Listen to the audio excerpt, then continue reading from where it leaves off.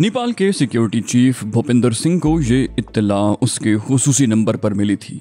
ये नंबर बहुत कम लोगों के इल्म में था और यहाँ आने वाली हर कॉल फ़ौरन ट्रेस हो जाया करती।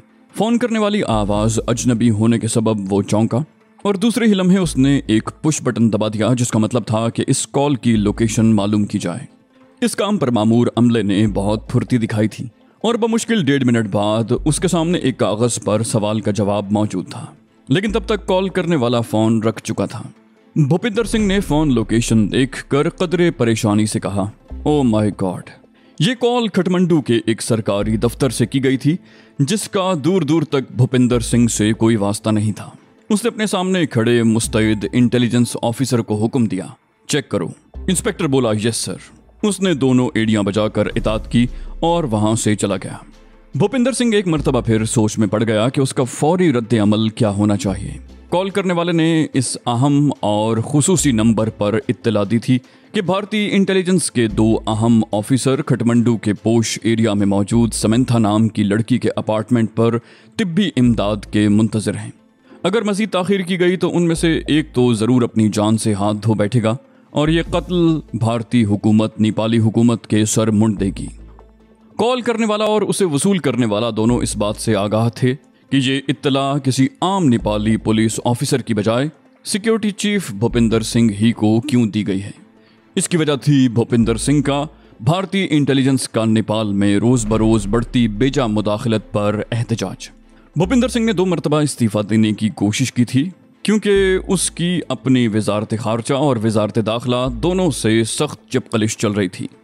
जिन्होंने भारतीयों को इतना फ्री हैंड दिया हुआ था कि भूपिंदर सिंह के नज़दीक इंडियन मुदाखलत की वजह से नेपाल का इकतदार आला भी खतरे में पड़ने लगा था। कठमंडू एयरपोर्ट से जहाज़ अगवा होने के बाद से तो जैसे भारतीयों के लिए बिल्ली के भागों छींका टूटा।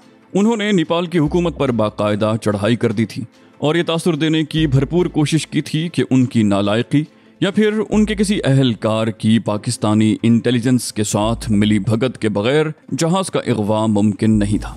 नेपाल की कमज़ोर हुकूमत के लिए जहाज़ अगवा होने के बाद बैन अवी सतह पर होने वाले प्रोपेगेंडे के बाद खुद को भारत के इस सिफारती वार से बचाना मुमकिन भी नहीं रहा था। वो खामोशी से भारतीय ख्वाहिशात के सामने सर झुकाते चले गए। बसूरत दीगर नेपाल के शुमाल में मौजूद पहाड़ी सिलसिले में छुपे माऊ बागियों की तरफ़ से मजामत शिद्दत इख्तियार कर जाती और वो हुकूमत के लिए लाजनहल मसाइल खड़े कर दिया करते थे। माजी का तजर्बा इस बात का शाहिद था कि जब कभी भारतीय हुकूमत की ख्वाहिश के एहतराम में नेपाली सरकार ने पसोपेश की, फ़ौरन माओ बागियों की सरगर्मियाँ बढ़ जाया करती और बेगुनाह शहरियों के खून की नदियाँ बहने लगती। जहाज़ अगवा करने वाले अपने साथियों को छुड़ाने में तो कामयाब हो गए थे। लेकिन उन्होंने नेपाली हुकूमत के लिए एक मुस्तकिल दर्द सर खड़ा कर दिया था, जिसके बाद से भारत का बाकायदा एक इंटेलिजेंस सब हेडक्वार्टर नेपाल में कोऑर्डिनेशन के काम पर खुल गया था। भूपिंदर सिंह के लिए ज़्यादा हैरानी की बात यह थी कि खटमंडू से श्रीलंका की एयरलाइन का जहाज़ हाईजैक होने के बाद आखिर भारत का रद्दमल माजी जैसा क्यों नहीं? उसके तमाम जराए ने यह बात मुकम्मल तहकीक व तफ्तीश के बाद हुकूमत तक पहुँचा दी थी कि श्रीलंकन एयरलाइन के अगवा का कारनामा किसी और ने नहीं, बल्कि रॉ ने अंजाम दिया है। और ये इसलिए मुमकिन हुआ कि कोऑर्डिनेशन की आड़ में भारतीय एजेंट नेपाल में दंतनाते फिर रहे हैं। लेकिन हसब सबक हुकूमत की तरफ़ से खामोशी इख्तियार कर ली गई थी। अगर किसी सतह पर भारत ने हुकूमत से एहतजाज किया था तो भूपिंदर सिंह को इस बात का इल्म नहीं हो सका था। अलबत्ता उसे मुतमिन करने के लिए कह दिया गया था कि हुकूमत ने अपने चैनल से एहतजाज रिकॉर्ड करवा दिया है। और भारतीय हुकूमत ने अपने तौर पर तहकीकात का वादा भी कर लिया है। भूपिंदर सिंह जानता था कि ये सब उसे तसल्ली देने के लिए किया जा रहा है। इस दुनिया में जहाँ सिर्फ़ और सिर्फ़ ताकत, धूस और धांधली का राज चलता हो, वहाँ एक कमज़ोर हमसाए की हैसियत ही क्या है? अचानक ही उसके दिल में एक ख्याल पैदा हुआ। मुमकिन है ये इत्तला जो उसे दी गई है, उसके किसी काम आ सकेगी। ये बात तो वो जानता था कि उसके और हुकूमत के ताल्लुकात का इल्म आला सरकारी मुलाजमीन के एक ख़ास हल्के को है और नेपाल के सरकारी हलकों में भारतीय मुदाखलत से मुतलक उमूमन इसी तरह के जज्बात पाए जाते थे, जैसे जज्बात भूपिंदर सिंह रखता था। चूँकि उसका ताल्लुक शाही खान वादे से था, इसलिए वो खुलकर अपने हल्का अहबाब में भारत के खिलाफ जज्बात का इजहार कर दिया करता था। बाकी लोगों के लिए ऐसा मुमकिन नहीं था। क्योंकि नेपाल के सरकारी हलकों तक भारतीय इंटेलिजेंस को रसाई हासिल थी और वो यहाँ मौजूद अपने मुखालफिन पर कड़ी नज़र रखते थे। उमूमन उनके लिए मसाइल खड़े कर दिया करते थे। माजी में ऐसी मिसालें भी सामने आई थीं, जब रॉ की तरफ़ से अपने मुखालफिन को खामोशी से ठिकाने लगा दिया गया, या फिर उन्हें सरकारी मुलाजमत से रुख्सत मिल गई।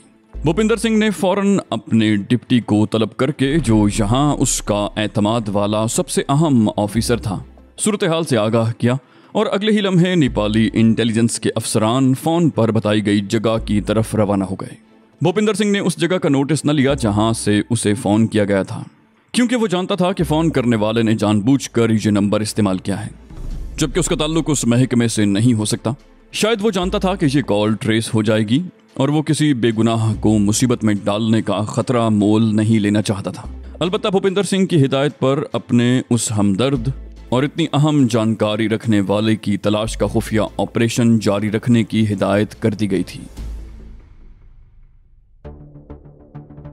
अशोक और उसके साथी की बेहोशी तवील होने में उनके जिस्म पर लगने वाली मखसूस जरबात के अलावा उस रूमाल ने भी अहम किरदार अदा किया था, जो हमलावर ने जाते हुए उन दोनों को सुंघाया था। कितनी देर वो बेहोश रहे, इसका अंदाज़ा उन्हें नहीं हुआ था, क्योंकि दोनों को एक दूसरे से बमुश्किल एक दो मिनट के वक्फे से होश आ गया था।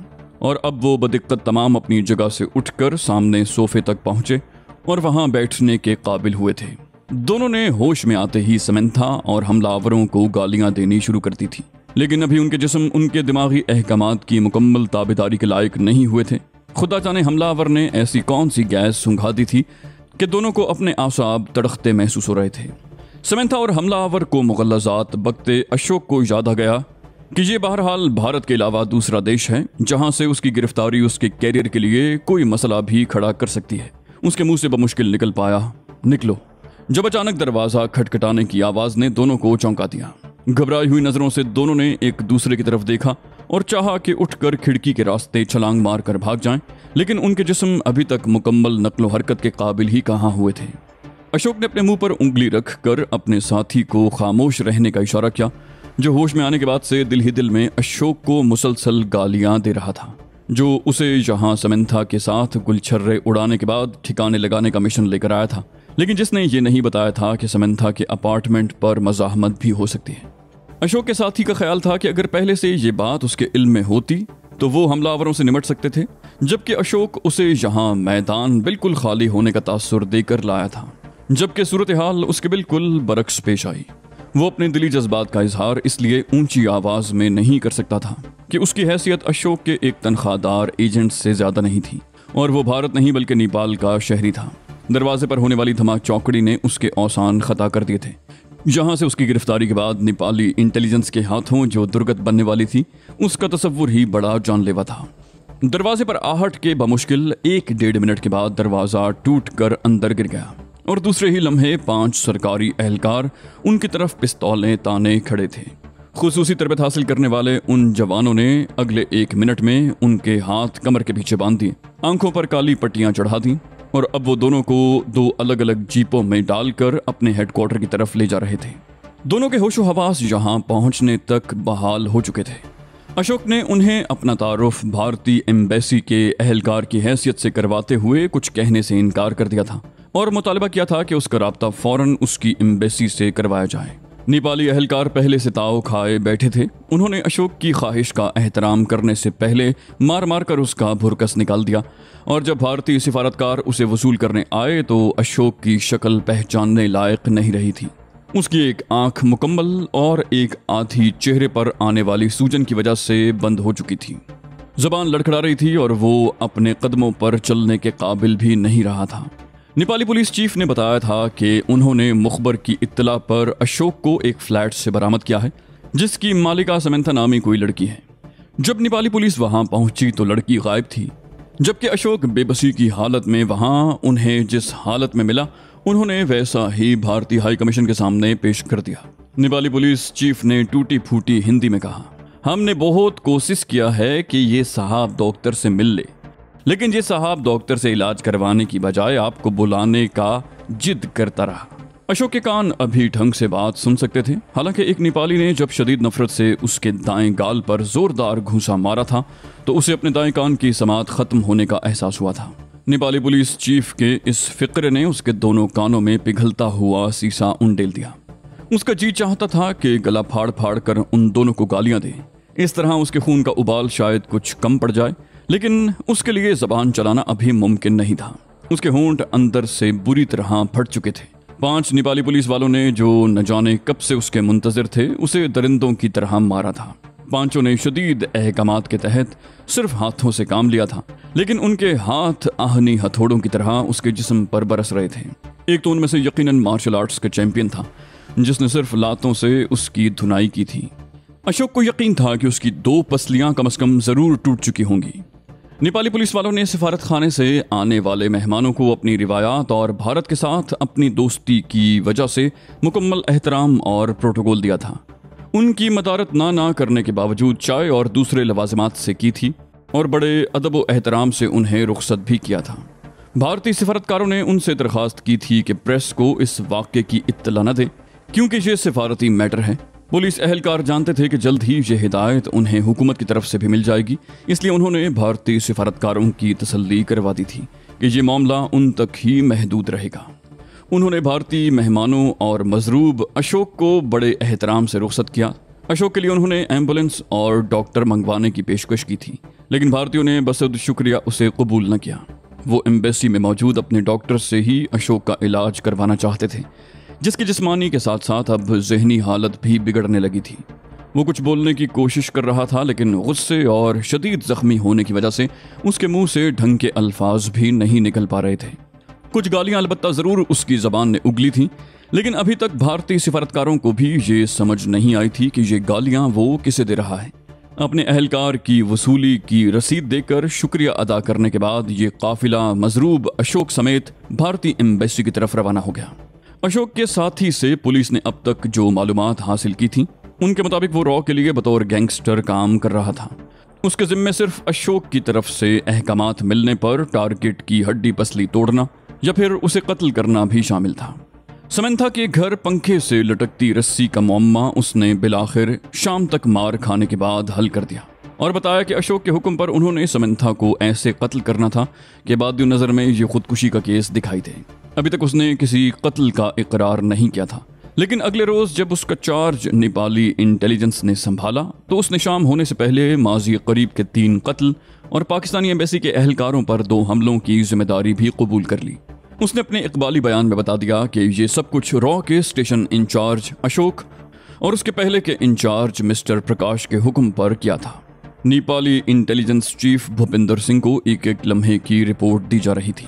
ये बात वो जानता था कि उसके मातहतों ने श्रीलंकन जहाज़ के अगवा के बाद से जिन दो मशकूक लोगों पर कड़ी नज़र रखी थी, उनमें से एक ट्रेवल एजेंट शाहिद मियाँ पुरसरार हालात में मारा जा चुका है, जबकि समंथा गायब है और रॉ ने समंथा को कत्ल करने की कोशिश की थी। दोनों हमलावरों से समंथा की जान किसने बचाई? समंथा कहाँ गायब हो गई? इन दोनों सवाल पर उसने गौर शुरू किया तो उनका जवाब भी उसे जल्दी ही मिल गया। भूपिंदर सिंह बे इख्तियार मुस्कुरा दिया। बड़े स्मार्ट लोग हैं। रॉ वाले इनका कुछ नहीं बिगाड़ सकते। उसने अपने सामने बैठे अपने मातहत से कहा, और वो दोनों कह कहा मार कर हंसने लगे। दोनों जानते थे कि जल्दी उन्हें समंथा के मसले पर भी कोई सरप्राइज़ मिलने वाला है। लेकिन दोनों को इस बात का इल्म था कि समंथा की जान बचाने वाले नेपाली इंटेलिजेंस के नादीदा हमदर्द कोई ऐसा मसला खड़ा नहीं करेंगे जो उनके लिए परेशानी या पशेमानी का बायस हो। वो इस गंदे और घिनौने खेल के साथ साथ नेपाली हुकूमत की मजबूरियों को भी अच्छी तरह समझते थे। और एक दोस्त होने के नाते नेपाल के लिए कोई मसला खड़ा नहीं करेंगे। वो रात समंथा की ज़िंदगी का सबसे डरावना ख्वाब थी। अगर ये अजनबी जिसने अपना नाम हामिद बताया था, उसकी मदद को न आया होता तो आज सुबह या शायद दो तीन रोज बाद जब उसके अपार्टमेंट का दरवाज़ा तोड़ा जाता तो उसकी बदबूदार लाश बरामद होती। और ये बावर कर लिया जाता कि उसने खुदकुशी की है। उसकी लाश तो वसूल करने वाला भी कोई ना होता। वालिदैन तो कब के मर चुके थे। कोई उसका सगा बहन भाई था नहीं। जो दूर पार के रिश्तेदार थे, उन्हें समंथा से कुछ लेना देना नहीं था। शायद ही वो किसी खानदानी तकरीब में शरीक होती थी। चर्च में उसका सिवाय अहम मजहबी तकारीब के कभी जाना नहीं हुआ था। उसकी ज़िंदगी थी ही क्या? सुबह से शाम तक बस काम ही काम। या फिर कभी कभी रात गए शराब नोशी, और उससे आगे वो कुछ सोच नहीं सकती थी। उसे अपने आप से घिन आने लगी थी। ये एहसास के अशोक और उससे पहले प्रकाश उसे इस्तेमाल करते रहे हैं और वो भी इंतहाई घिनौने मकासद के लिए। उसके लिए सुहाने रूह बनता जा रहा था। श्रीलंकन एयरलाइन जहाज़ के अगवा का वो खामखा खुद को जिम्मेदार समझने लगी थी। हालाँकि उसका उससे दूर तक का कोई वास्ता नहीं था। अगर उसे इस बात का इल्म होता या उसे रॉ बता देती कि वो जहाज़ के अगवा की किसी कार्रवाई में मुलविस हैं तो वो अपनी जान पर खेल कर नेपाली पुलिस को उसकी इत्तला कर देती। वो ऐसी ही थी। ये एहसास कभी कभी उसे सताने लगता था कि वो किसी गैर मुल्की इंटेलिजेंस के लिए काम कर रही है। लेकिन इस काम की नौयत ऐसी थी जिस पर उसे कोई खास पछतावा नहीं होता था। उसे करना ही क्या होता था? बस यही कि पाकिस्तान एम्बेसी से किसी के नाम का कहाँ टिकट बना है और जाने वाला किस फ़्लाइट से जा रहा है। इसके अलावा तो उसने कभी कोई काम नहीं किया था। फिर ये लोग मेरी जान लेने क्यों आ गए थे? उसने कई मरतबा खुद से ये सवाल किया, लेकिन इसका कोई जवाब उसे न मिल सका। और जब अगले रोज रात गए हामिद वापस आया तो उसने ये सवाल उससे भी कर दिया। हामिद ने जिसकी कनपटियों पर सफ़ेद बालों की चांदी उतर आई थी, उसकी तरफ़ देखे बगैर जवाब दिया, अपने जुर्म का निशान मिटाने के लिए। समंथा ने बेसाख्ता एहतजाज किया, क्या मतलब है आपका? और अजनबी हामिद ने उसे सारी कहानी समझा दी। उसने बताया कि श्रीलंकन एयरलाइन का जहाज़ रॉ ने हाईजैक किया था, सिर्फ़ एक पाकिस्तानी सिफारतकार नुमान को हलाक करने के लिए। जिसकी बुकिंग उसके ज़रिए करवाई गई थी। क्योंकि ये बुकिंग सुमेंथा ने आउट ऑफ़ द वे की थी, इसलिए जल्द या बदेर नेपाली इंटेलिजेंस या पाकिस्तानी एजेंसी उस तक पहुँच जाती और उन लोगों को इस जुर्म का कोई सुराग मिल जाता। हाईजैकर तो उन्होंने मार डाले थे, वो बेचारे तो अब कुछ कहने से रहे। न ही उन्होंने मरने से पहले अपनी कोई शनाख्त बताई थी कि दुनिया को उस हाईजैकिंग की असलियत का इल्म होता। हामिद ने उसे बताया कि इसी तरह मासूमाना तरीके से या ब्लैक मेलिंग के ज़रिए ये लोग अपने घिनौने मकासद में कामयाब हो जाते हैं और फिर समंथा की तरह अपने मोहरों को सफ़ाई हस्ती से मिटा देते हैं। समंथा ने गुस्से से बेकाबू होकर कहा, मैं उन्हें बेनकाब करूँगी। मैं सारी दुनिया को बता दूँगी कि ये कितने घिनौने और खतरनाक लोग हैं। उसे ये एहसास होने लगा था कि उसकी हैसियत किसी तीसरे दर्जे की वैश्या से ज़्यादा नहीं थी। और रॉ वालों के लिए वो समंथा की बजाय सिर्फ़ एक डिस्पोजेबल मशीन थी। उसे अपने आप से घिन आने लगी। हामिद ने बड़े नासिहाना और मुशफिकाना अंदाज में उसे समझाते हुए कहा, सोच समझ कर फैसला करो, समंथा। तुम पर कोई दबाव नहीं। समंथा का जवाब फैसला कुन था। बोली, मैंने सोच समझ लिया है। हामिद ने कहा, लेकिन इसके बाद तुम्हारा नेपाल में रहना मुमकिन नहीं होगा। ये लोग तुम्हें मार डालेंगे। जहाँ कोई उनसे तुम्हें बार बार नहीं बचा सकता। हामिद ने यह बात शायद उसका अज़म आजमाने के लिए की थी। और अब उसके चेहरे के तासुरात से उसकी दिली कैफियत का अंदाज़ा लगाने की कोशिश कर रहा था। समंथा ने करीबन बड़बड़ाते हुए कहा, अब भी वो मुझे नहीं छोड़ेंगे। आखिर मैं उनके शिकंजे से निकल कर आई हूँ। हामिद ने कहा, समंथा, एक बार फिर सोच लो। अगर तुम रजाकाराना तौर पर बगैर किसी जबर या दबाव के ये सच्चाई दुनिया के सामने लाने का इरादा रखती हो तो हम तुम्हें मुकम्मल तहफ़ देंगे। तुम अपनी मर्ज़ी की आज़ाद और जिम्मेदार ज़िंदगी बसर कर सकती हो। हामिद ने उसके सामने दुनिया के कुछ ममालिक के नाम दोहराए, जहाँ वो समंथा को कानूनी तहफ़ दिला सकता था। और समंथा ने एक यूरोपीय मुल्क पर साद कर लिया। हामिद ने फैसला कुन लहजे में कहा, ठीक है। और अगले रोज आने का वादा करके चला गया। उसका रवैया इतना महजब और शरीफाना था कि वहाँ वार्ड्रोब में मौजूद खातन के मुख्तलिफ़ कपड़ों में से समंथा ने अपने मिजाज के बिल्कुल बरक्स ऐसे कपड़ों का इंतखब किया, जिनसे उसके बेहूदा होने का कतन एहसास नहीं होता था। ट्रैवल इंडस्ट्री से वाबस्ता होने के नाते उसका वास्ता हर तरह के लोगों से रहता था। खटमंडू में मौजूद दुनिया के करीबन हर नस्ल और मज़हब के मानने वाले उनके गाहक थे। उसकी कई शामें मुख्तलिफ़ सिफारतकारों के साथ गुजरी थीं। मुख्तलिफ़ सिफारत खानों में अपने काम के सिलसिले में उसका आना जाना लगा रहता था। अब तक उसकी अमली ज़िंदगी का तजुर्बा यही था कि दुनिया के करीबन सब मर्द थोड़े से फ़र्क से एक जैसी जहनीत के मालिक हैं। लेकिन हामिद से जो उम्र में उससे बड़ा और बज़ाहिर बहुत मुस्तैद और नौजवान दिखाई दे रहा था, महज चंद घंटे की हादसाती मुलाकात ने उसका नज़रिया बातिल कर दिया था। समंता यही समझ रही थी कि उसे रॉ के खूनी शिकंजे से निकालकर इस आफियत गाह तक पहुँचाने वाला अब नहायत शरीफाना तरीके से अपने एहसान की कीमत वसूल करेगा। और अगर वो ऐसा करता तो शायद समंथा के लिए उससे ज़्यादा आसूदगी की और कोई बात ना होती। वो बहुत खुशी से उस सब कुछ के लिए तैयार हो जाती ऐसे तजर्बात से गुजरना उसके लिए कोई नई बात नहीं थी। लेकिन हैरत अंगेज तौर पर उसने समंथा से कोई बात ही नहीं की। समंथा ने खुद दो तीन मरतबा, जब दौरान गुफ्तु उसे ये एहसास दिलाना चाहा कि वो हामिद के हर फैसले को बड़ी खुश दिली के साथ कबूल करने के लिए तैयार है तो भी उसने कोई पेशरफ न की। समंथा को यूँ महसूस हो रहा था जैसे ये किसी और सैारे की मखलूक है, जिसका जहाज़ गलती से ज़मीन पर लैंड कर गया है। कम अज़ कम इस दुनिया का कोई बाशिंदा उस जैसी खातून की पेशकश कभी न ठुकरा था उसने तो बड़े बड़े सिफारतकारों को अपने कदमों पर लौटते देखा।